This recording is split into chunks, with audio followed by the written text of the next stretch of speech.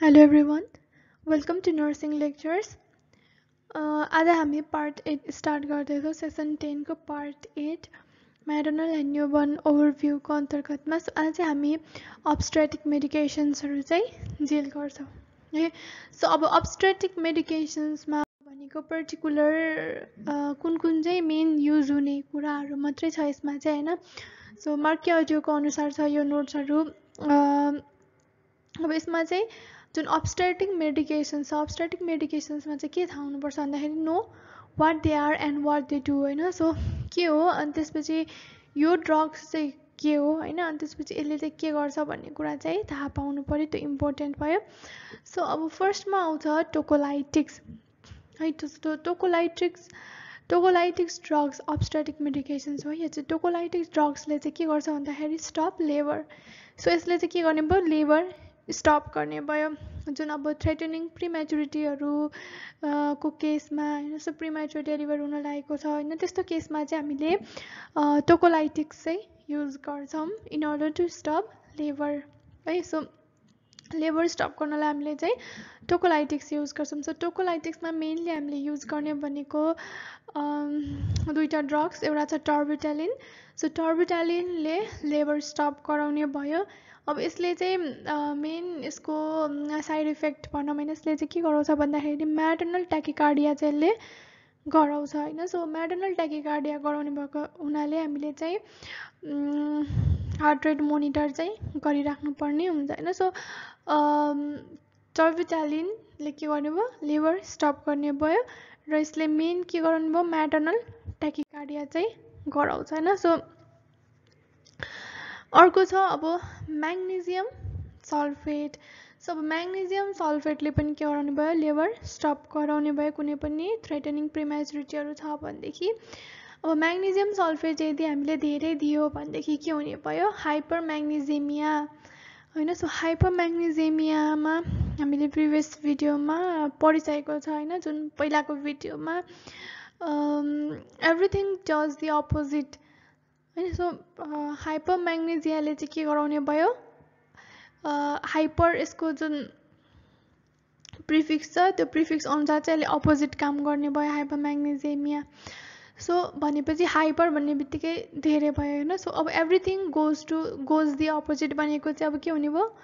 कम हुने भयो। So everything goes down हुने भयो होइन? So uterine contraction goes down but so will everything else so hypermagnesemia भयो भनेदेखि के हुने? भयो uterine contraction goes down but यसको साथसाथै चाहिँ के हुने भयो एभ्रिथिङ विल गो डाउन भनेको ब्रेडिकार्डिया हुने भयो होइन हाइपोटेन्सन हुने भयो प्रेसर पनि डाउन हुने भयो रिफ्लेक्स डाउन हुने भयो वान प्लस ब्राडिप्निया रेस्पिरेटरी पनि डाउन हुने भयो लस अफ कन्सियसनेस पनि डिक्रिज हुने भयो सो के हुने भयो हाइपर म्याग्नेजेमिया भयो भनेदेखि everything goes down uterine contraction पनि इट गोज डाउन त्यस्तोको साथसाथै के हुने भयो? अरू पनि गोज डाउन सो कम हुने भयो. ब्राडिकार्डिया हाइपोटेन्सन रिफ्लेक्स पनि गोज डाउन ब्राडिनिया र decrease loss of consciousness so यो सबै हुने भयो म्याग्नेजियम सल्फेटमा होइन र top to that boards check knowledge होइन? अब यसमा चाहिँ एउटा के हुने भयो भन्दाखेरि एन्क्लेक्समा एन्क्लेक्समा मात्रै नभएर हाम्रो नेपाल नर्सिङ काउन्सिलहरूमा पनि होइन? त्यसमा मेन अब सोधिने भनेको चाहिँ यो केसमा भनेको रेस्पिरेटरी एन्ड रिफ्लेक्सेस होइन? देयर फोर हामीले के असेस गर्नु पऱ्यो रे रेस्पिरेसन र र रिफ्लेक्स हामीले चाहिँ चेक चाहिँ गर्नुपर्ने हुन्छ। र यसको साथसाथै चाहिँ हामीले युरिन आउटपुट पनि चेक चाहिँ गर्नुपर्ने हुन्छ। यो चाहिँ जुन हामीले एमजिएसएफओको कमन साइड इफेक्ट्समा हामीले पढिरहेको कुरा हो होइन? सो रेस्पिरेटरी रिफ्लेक्स र युरिन आउटपुट पनि यसमा मेन्सन गरिएको छैन तर मैले यसमा एड गरेको छु सो युरिन आउटपुट पनि हामीले चाहिँ हेर्नुपर्ने हुन्छ यसमा। र अब प्यारामिटर्स अफ टाइट्रेसन भनेको चाहिँ अब यसमा चाहिँ कति चाहिँ हुनुपर्छ भन्ने कुरा होइन? सो रेस्पिरेसन चाहिँ हाम्रो एटलिस्ट टुवेल्भसम्म चाहिँ हुनु पऱ्यो होइन? रेस्पिरेसन जस्तो एमजिएसएफओ दिँदाखेरि हामीले हेर्नुपर्ने। अब एमजिएसएफओ दिइरहेको बेला ब्राडिप्निया हुन्छ भनेर हामीले भनिसकेको छ रेस्पिरेसनको केसमा होइन? सो एटलिस्ट रेस्पिरेसन रेट चाहिँ हाम्रो टुवेल्भ चाहिँ हुनुपर्छ है। So twelve respiration per minute चाहिँ हुनुपर्ने हुन्छ। इट्स ओके होइन यदि टुवेल्भसम्म छ भनेदेखि। तर टुवेल्भभन्दा कम छ भनेदेखि चाहिँ unit to slow it down होइन। हामीलाई एमजिएसओफो चाहिँ के गर्नुपर्ने हुन्छ? स्लो गर्नुपर्ने हुन्छ। सो यो कुरा याद राख्नु पऱ्यो अर्को छ रिफ्लेक्स रिफ्लेक्समा चाहिँ यदि टु प्लस रिफ्लेक्स छ भनेदेखि इट्स ओके होइन। तर वान प्लस यदि छ टूभन्दा कम छ भनेदेखि चाहिँ हामीले स्लो गर्नुपर्ने हुन्छ। है so if it's three plus हामीलाई अलिकति बढाउन चाहिँ सकिन्छ एमजिएसएफओ है। सो यो त प्यारामिटर्स अफ टाइट्रेसन सो युरिनमा पनि हामीले चाहिँ युरिन आउटपुट पनि हेरिराख्नुपर्ने हुन्छ।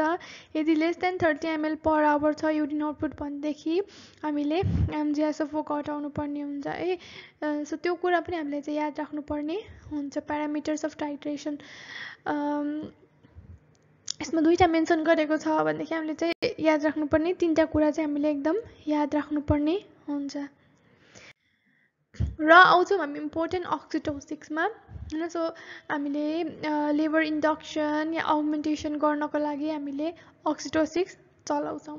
है सो अक्सिटोसिक्समा अक्सिटोसिक्सले के गर्छ भन्दाखेरि स्टिमुलेट एन्ड स्ट्रेन्देन होइन स्टार्ट गर्छ या स्ट्रेन्थ गराउँछ होइन या स्टिमुलेट गराउँछ भनेको इनिसिएट गराउँछ या आर्गुमेन्ट गराउँछ होइन अक्सिटोसिक्सले सो यो कुरा चाहिँ हामी याद राख्नु पऱ्यो अक्सिटोसिसको काम भनेको युटेरसलाई युटेरस कन्ट्राक्सन या लेबरलाई चाहिँ स्टार्ट गराउने स्टिमुलेट गराउने काम चाहिँ अक्सिटोसिक्सले गर्छ। सो अब अक्सिटोसिक्समा मेन भनेको अक्सिटोसिन है अक्सिटोसिन ड्रग र मेथर्जिन हुन्छ अर्को है। सो अक्सिटोसिन चाहिँ अब हामीले कमन फर्ममा भनेको पिटोसिन भनेर चाहिँ चिनिन्छ होइन। सो पिटोसिन भनेर चिनिन्छ। हाम्रो नेपालको कन्टेक्समा हामीले सिन्टोसिन कमनली युज गरिरहेको हुन्छ होइन। सो सिन्टोसिन चाहिँ अक्सिटोसिक्समा पर्ने भयो। अब यसको कारणले के हुनसक्छ भन्दाखेरि can cause uterine hyper stimulation होइन। सो धेरै डोज चलायो भनेदेखि यसले हाइपर स्टिमुलेसन पनि गराउने भयो होइन। र यदि contraction longer than ninety seconds आयो क्लोजर टु टु मिनट्स होइन closer than every two minutes यदि छ भनेदेखि चाहिँ हामीले के गराउनु पऱ्यो पऱ्यो पिटोसिन स्टप गर्नुपर्ने हुन्छ। यो हामीले प्रिभियस भिडियोमा पनि पढिसकेको छ होइन? सो पिटोसिन चाहिँ पिटोसिनको कम्प्लिकेसन भनेको एउटा हाइपर स्टिमुलेसन गराउन सक्ने भयो। So longer than ninety seconds yeah closer to two minutes भयो भने हामीले स्टप गराउनुपर्छ। यो कुरा चाहिँ हामीले याद राख्नु पर्यो। र अर्को छ मेथर्जिन सो मेथर्जिनले चाहिँ के गराउने भयो? मेथर्जिनले पनि स्टिमुलेट एन्ड स्ट्रेन्देन युटेरस होइन गराउने भयो भन्दाखेरि यसको कम्प्लिकेसन भनेको it causes hypertension because अब यसले के गराउँछ भन्दाखेरि भ्याजो कन्स्ट्रिक्सन गराउँछ। ब्लड भेसल्सलाई ब्लड भेसल्सको भ्याजो कन्स्ट्रिक्सन गराउँछ होइन? सो यसले चाहिँ हाइपर टेन्सन चाहिँ गराउन सक्छ। सो यो कुरा चाहिँ हामीले मोनिटर गरिराख्नु पर्ने। हुन्छ। सो यसमा चाहिँ हामीले एउटा कुरा के याद राख्नु पऱ्यो यो ड्रग्समा भन्दाखेरि टोकोलाइटिक्स र अक्सिटोसिक्समा भन्दाखेरि मेथर्जिन र म्याग्नेजियम सल्फेट के छ त? एमबाट स्टार्ट भएको छ होइन? र एउटाले चाहिँ बिपी लोवर गर्छ भन्दाखेरि अर्कोले चाहिँ बिपी हाई गर्छ भनेको म्याग्नेजियम सल्फेटले बिपी कम गर्छ र हाम्रो मेथोजिनले चाहिँ बिपी हाई गराउँछ। सो यो कुरा चाहिँ हामीले याद राख्न सक्यो। र अर्को इम्पोर्टेन्ट ड्रग्स भनेको फिटल लङ म्याचुरिङ मेडिकेसन्स होइन यो भनेको चाहिँ फिटल लङ यदि प्रिमेचर डेलिभरी हुन लागेको छ भनेदेखि होइन? सो प्रिमेचर डेलिभरी भयो भनेदेखि फिटस को लङ म्याच्योर भइसकेको छैन भनेदेखि भनेदेखि हामीले चाहिँ फिटस लङ म्याच्योर गराउनको लागि चाहिँ हामीले ड्रग्सहरू युज गर्छौँ। सो मेनली हामीले ड्रग्सहरू युज गर्ने भनेको स्टेरोइड्स अनि त्यसपछि भनेको सर्फेक्टेन्ट हुन्छ है फिटलको केसमा। सो अब फर्स्टमा छ बिटामिथाजोन बिटा बिटामिथाजोन भनेको हामीले स्टेरोइड्स स्टेरोइड्स भनेर भनिन्छ होइन सो बिटामिटाजोन भनेको स्टेरोइड्स नै हो होइन सो हामीले चाहिँ मेनली कमनली युज गरेको भनेको डेक्जोमिथाजोन होइन सो डेक्जोना भनेर हामीले सुनिरहेको हुन्छ होइन सो डेक्जो डेक्जामिथाजोन चाहिँ हामीले मदरलाई दिइन्छ होइन it is given to mother मदरलाई हामीले थ्रु आइएम दिइन्छ होइन? सो यो दिने भनेको पनि कहिले दिइन्छ? बेबी बर्न हुनुभन्दा अगाडि नै दिइन्छ होइन? सो डेक्जा मिथा सरी बिटामिथाजोन भनेको चाहिँ it is given to mother आइएमको थ्रुबाट दिन्छ र बच्चा चाहिँ जन्मिनुभन्दा अगाडि बिफोर बेबी इज बर्न होइन? सो त्यति बेला चाहिँ हामीले दिन्छ betamethasone so you can repeat if it if the baby is in utero यदि युटेरसभित्रै छ बेबी भनेदेखि चाहिँ हामीले चाहिँ रिपिट गरेर पनि दिन चाहिँ मिल्छ। बिटामिथाजोन होइन? स्टेरोइड्स सो यो चाहिँ हामीले फिटल लङ म्याचुरिटीको लागि दिइन्छ अर्को ड्रग्स के छ भन्दाखेरि सर्भेन्टा। सर्भेन्टा चाहिँ सर्फेक्टेन्ट भनेर भनिन्छ सर्भेन्टा। होइन? यस्तो सर्फेक्टेन्ट हुन्छ। सर्फेक्टेन्टले चाहिँ के गराउने भयो? यसले पनि फिटल लङ म्याचुरिटी गराउने भयो। यो चाहिँ न्युनेट्सलाई दिइन्छ होइन? न्यु बोर्नलाई दिइन्छ न्युनेटलाई गिभन थ्रु ट्रान्सट्र्याकियल होइन? Transtracheal blown in through trachea so ट्र्याकियामा चाहिँ ब्लो गराइन्छ। कसरी भन्दाखेरि अब सो नेभुलाइजरको थ्रुबाट होइन?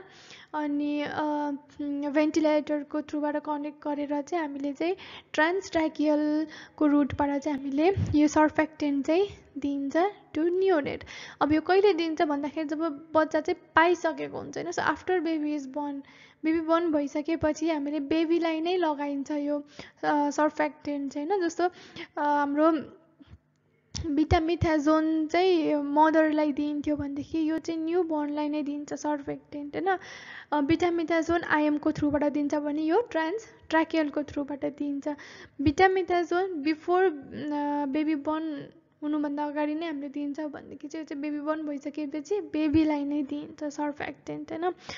सो यो कुरा चाहिँ हामीले याद राख्नु पऱ्यो सो अब्स्टेटिक मेडिकेसन्समा इम्पोर्टेन्ट मेडिकेसन्सहरू यिनीहरू नै हो होइन? जो मार्क अडियोमा दिएको अनुसार।